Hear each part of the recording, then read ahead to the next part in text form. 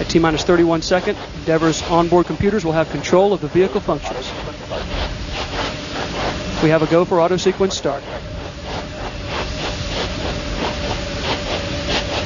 20, T minus 20 seconds.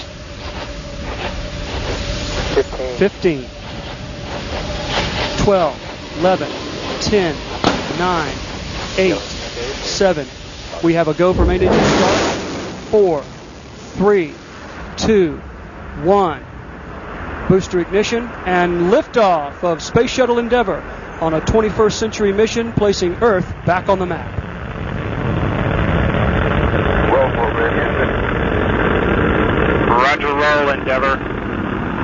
Houston's now controlling. And we're rolling on a course northeast away from the Kennedy Space Center toward an orbit that will take it above 95%.